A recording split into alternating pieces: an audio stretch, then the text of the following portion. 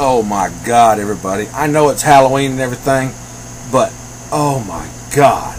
I was at the Walmart the other day doing some shopping and I saw this.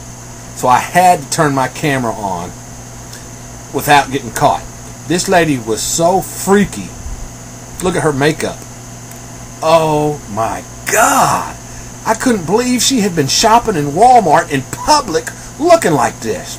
Look, I took my buggy outside and I turned around and aimed it right at her and zoomed right on in. Look, here she goes. She's going to turn around.